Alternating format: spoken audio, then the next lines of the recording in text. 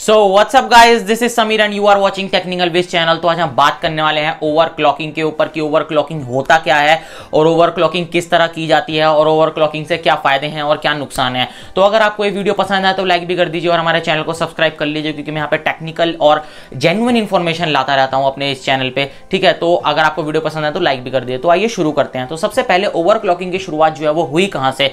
आज जो है कंपनियाँ डे टू डे यानी कि एक महीने के अंदर, तीन महीने के अंदर जो है वो नए नए प्रोसेसर एंड ग्राफिक कार्ड जो है वो निकाल रही है, जिसकी वजह से पुराने जिन्होंने ग्राफिक कार्ड्स आप जानते हैं, बहुत महँगे आते हैं। पंद्रह हज़ार रुपए से तो ग्राफिक कार्ड की स्टार्टिंग होती है। GT X one zero five zero ये सब बहुत सारे, ये जाते जाते एक लाख, डेढ़ लाख तक ग्राफिक कार्ड जो है वो चले जाते हैं। तो अगर आपने मान लीजिए परचेस करा है कोई भी एवरेज ग्राफिक कार्ड पच्चीस रुपए का मान लीजिए आपने कोई परचेस करा है, ठीक है? तो आपने एक साल पहले परचेस करा और आप जो है कंपनी ने छह महीने बाद, दो एक साल बाद जो है वो नया निकाल दिया तो आपका ग्राफिक कार्ड पुराना हो जाएगा और कुछ गेम्स जो होते हैं या कुछ वीडियो एडिटिंग जो है वो लैक करने लग जाती है उन सब में, ठीक है? तो जो है, इसीलिए ओवर क्लॉकिंग का जो है वो निकला ओवर क्लॉकिंग लोगों ने ओवर क्लॉकिंग का मतलब ये होता है कि आप अपने प्रोसेसर की जो है वो पावर जो है वो बढ़ा सकते हैं। कुछ सेटिंग्स करके पावर ज़्यादा करके अगर आप किसी चीज़ को पावर ज़्यादा देंगे तो आपको भी पता है वो चीज़ जो है वो अपनी मैक्सिमम लेवल तक पहुँच जाएगी, यानी कि उसकी एफिशिएंसी हमको जो है ग्रेट एफिशिएंसी मिलेगी। और इसकी ओवरक्लॉकिंग का सबसे ज़्यादा यूज़ जो होता है, वो आज माइनिंग में हो रहा है बिटकॉइन माइनिंग और इन सब चीज़ों में ओवरक्लॉकिंग जो है, वो बहुत फ़ायदेमंद चीज़ होती है, क्योंकि यहाँ पर एक एक हैश पावर का जो है, वो बहुत ध्यान रखा जाता है कि अगर आपने पच्चीस हज़ार, डेढ़ लाख का अगर आपने ग्राफिक कार्ड खरीदा तो आप चाहेंगे कि उससे मैक्सिमम जो है वो आउटपुट ले सके मैक्सिमम गेम जो है वो बिल्कुल हाई एंड चला सकें।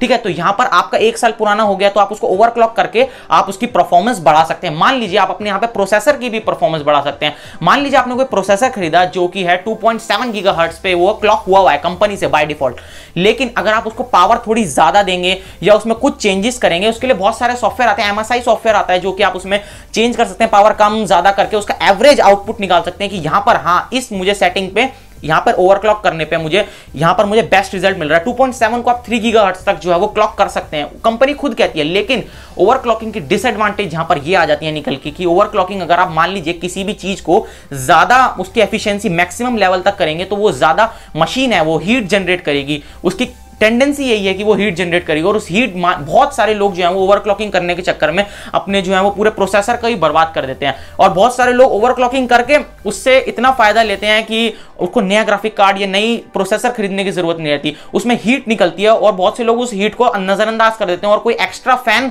वहाँ पे नहीं लगाते। चाइनीज़ मार्केट में बहुत सारे, आप चाइना में इसमें मार्केट में बहुत सारे जो है वो सीपीयू फ़ैन जो है वो एक्स्ट्रा लगाते हैं लोग ताकि जो है हीट जो है वो निकलती रहे। क्योंकि ग्राफिक कार्ड जो एक हाई एंड प्रोसेसर है जो कि हीट बहुत ज़्यादा जनरेट करता है। तो यहाँ पर ये कुछ थी ग्राफिक कार्ड्स की बातें। बहुत शॉर्ट वीडियो बनाई है मैंने आपके लिए कि ग्राफिक कार्ड्स और ये ओवरक्लॉकिंग किस तरह की जाती है। यहाँ पर ओवरक्लॉकिंग का मेन पर्पज यही होता है कि अपने जो है प्रोसेसर एग्जिस्टिंग प्रोसेसर से और जीपीयू से अपनी मैक्सिमम आउटपुट लेना ताकि हम उससे ज़्यादा से ज़्यादा फ़ायदा उठा सकें। ठीक है? तो यहाँ पर इसके एडवांटेजेस ये हैं कि आपका जो पुराना हो चुका है अगर कोई चीज़ और आप उसमें कोई हाई एंड गेम खेलना चाहते हैं और वो लैक कर रहा है, यानी कि हल्का या उसके हाई ग्राफिक्स पे नहीं चल रहा तो आप उसको सिंपली एमएसआई सॉफ्टवेयर आता है। बहुत सारे सॉफ्टवेयर अवेलेबल है। पावर ज़्यादा या कम करके उसमें और भी बहुत सारी चीज़ें देखी जाती हैं। पावर ही नहीं देखी जाती, और भी बहुत सारी चीज़ें देखी जाती हैं। उसमें मैक्सिमम आउटपुट जो है वो आप ले सकते हैं उस चीज़ से। तो ये बहुत ही अच्छी चीज़ है और अगर इसकी हीट जो है वो मेंटेन रखें तो प्रोसेसर की लाइफ भी इसमें मेंटेन रहती है। अगर आप इसमें हीट का ध्यान नहीं रखेंगे तो प्रोसेसर की लाइफ जो है वो कम हो जाती है, ठीक है?